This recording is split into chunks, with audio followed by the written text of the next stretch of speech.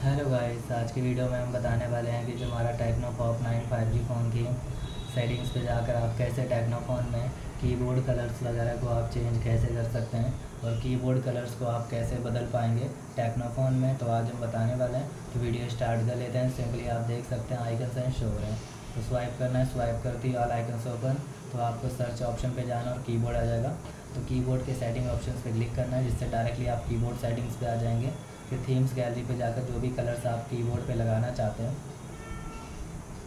तो लगा सकते हैं। आप यहाँ से डाउनलोड भी कर सकते हैं। सिंपली बस अप्लाई कर देना है और कीबोर्ड कलर आपके फ़ोन पे बदल जाएगा। देख सकते हैं, जब हम बैक कर लेंगे तो कीबोर्ड कलर कुछ इस तरीके से शो करेगा।